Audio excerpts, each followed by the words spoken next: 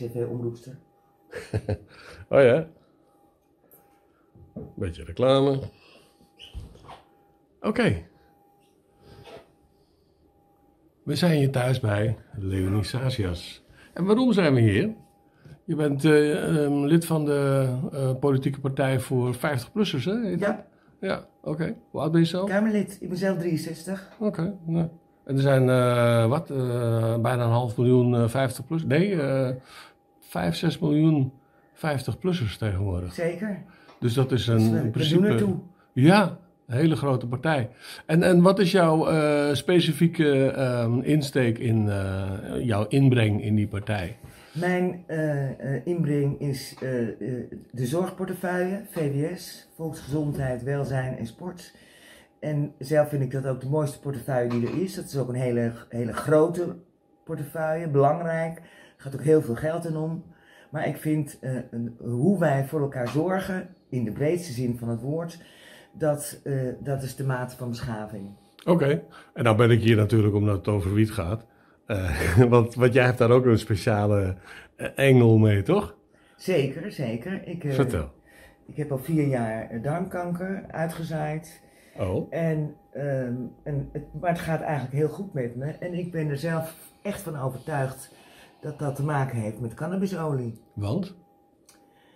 Nou, ik heb me daar natuurlijk in verdiept. Ik heb op de, de site van Mediwiet gekeken, maar ik heb eh, eh, meerdere wetenschappelijke onderzoeken bekeken, voor zover die er zijn.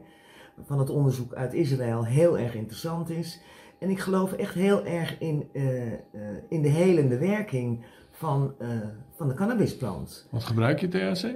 Ik gebruikte. eh, ik, ik- mijn man maakt, maakt olie voor mij. En, eh, en het is belangrijk bij kanker dat je de hele spectrum van, het plant, van de plant gebruikt. Ja, ja, ja, oké. En hoe sta jij, CQ, jouw partij, tegenover medicinaal gebruik van THC en CBD door mensen zonder voorschrift? Nou, positief. Daar gaat het natuurlijk om. Heel positief. En we Oh. hebben ook, eh, het is ons ook opgevallen dat de mensen die de cursus eh, om het zelf te maken bij jullie volgen, dat het over het algemeen vooral oudere mensen zijn. Ja, En eh, ik, ik, ik verwijs ook vaak mensen door naar jullie website. mhm. En, ehm, maar ik, ik ben sowieso wel van eh, de, de plantengeneeskunde. En natu- Mhm. Natuurlijk, ik, ik sluit namelijk niks uit. Niet de reguliere geneeskunde, maar ook niet de plantgeneeskunde. ja. En eh, er zijn heel veel heilzame planten en, en, en de cannabis is daar één van. ja. En werkt niet alleen goed bij, voor mensen bij kanker, maar ook voor andere aandoeningen. We hebben regelmatig veel gedoe met eh, oudere mensen die een plantje in de tuin hebben. Eh, en dat wordt dan met een hoop geweld uit de tuin geplukt. Hoe sta je daar tegenover? CQ, jouw partij? Nou, wij vinden natuurlijk dat je dat zelf voor je eigen medicinale gebruik zou moeten kweken. Ja, Want eh, zeker als je het in de tuin eh, doet, gewoon in de zon, in de volle grond, ja, dat is veel beter dan wat je in de koffieshop koopt, want dat is vaak troep. ja. Daar zitten allerlei eh, pesticiden op, antischimmelmiddelen. dat moet natuurlijk binnen, binnen drie maanden op een brandgevaarlijk zoldertje met gestoten stroom uit de grond getrokken worden.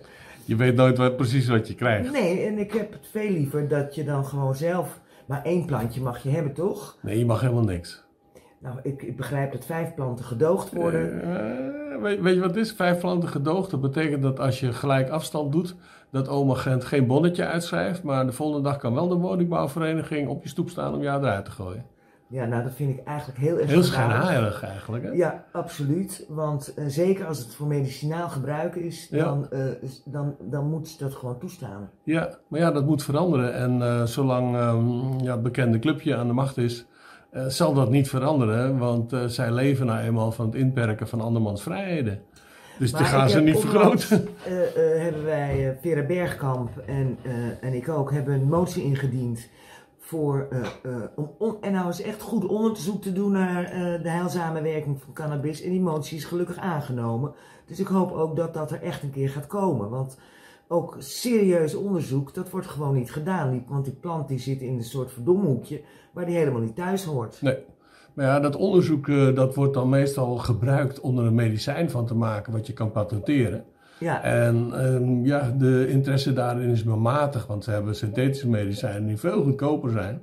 en al gepatenteerd en waar je heel veel geld aan kan verdienen. Ja. Dus wat zal je druk maken?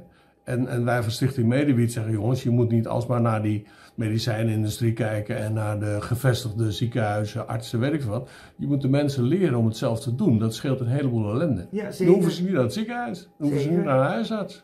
Ja, nee, En- dat, eh, dat, dat, dat, daar ben ik mee eens. Dus vijf planten voor, een, eh, voor privégebruik. Of je nou patiënt bent of niet, dat vinden jullie dat zou wel moeten kunnen. Nou, zeker voor patiënten in elk geval. Zeker voor patiënten. Zeker voor patiënten, ja. Oké, je had nog even voor een, een slag om de arm voor eh, recreationeel gebruik. Nou, dat, dat kijk, het blijft natuurlijk of het nou om, om, om drugs gaat of een geneesmiddel, dat, eh, dat, dat, dat, dat is hetzelfde. Hè? Geneesmiddelen zijn ook drugs. Ja, Maar je moet natuurlijk wel voorzichtig zijn, vooral met, ook met de dosering. En ehm, het, het, het is natuurlijk wel een stof. eh, Ja. Met bepaalde eigenschappen. Dus ja. je, je mag daar ook wel voorzichtig mee zijn. ja. Dat wetenschappelijk onderzoek, hè, zou zich dat niet vooral ook moeten richten, minstens voor de helft, op praktijkonderzoek. Op mensen die in de praktijk ermee bezig zijn nu. Weliswaar illegaal, maar die wel kunnen vertellen wat hun ervaringen zijn. Zeker, absoluut. Ik bedoel, dat kun je met die muizen en die ratten, eh, kun je wel wat bereiken, maar niet hetzelfde. Nee, dat moet, moet je zeker meenemen, want eh, ik merk, eh, en dat lees ik dan onder andere ook op jullie site, wat een positieve reacties daarop staan. Ja, ja, het zijn vaak hele En ik, wonderlijke ik sluit mij daarbij aan, want ook ik heb daar positieve ervaringen mee. Ja, want hoeveel druppels gebruik je? Nou, ik heb het best wel opgevoerd, dus ik kan best wel veel hebben. Zo. Alleen, eh, eh, ik, ik doe het niet overdag als ik moet werken, Nee. dus eh, alleen s'avonds. En je slaapt er ook nog eens een keer heel goed op. Kijk, kijk, kijk, dubbele winst. Ja, Ja, en in je slaap gaat je immuunsysteem aan het werk en die bestrijdt onder andere kankercellen. Dus, Ja. wauw. Oké, oké. En ehm, ehm, nou, we gaan op je stemmen, toch? Nou, heel graag. Ik sta op lijst nummer 10 en dan sta ik helemaal onderop nummer 40. Ach, jee. Nou, Maar- voorkeurstemmen, die zijn er ook nog. Kunnen ja, we gebruiken. zo is het. Gaan we doen. Dankjewel.